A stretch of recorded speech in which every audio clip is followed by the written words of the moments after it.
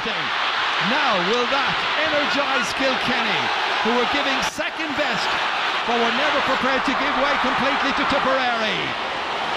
Back come the team looking for four in a row. Back comes Eoin Larkin. One point so far. In for Comerford. It's in the back of the net. Two in a row.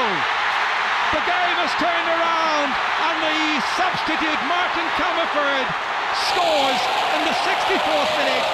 It's two goals, one from a penalty, one from play in the space of 60 seconds, and it has turned around the 2009 All Ireland Hurling Final.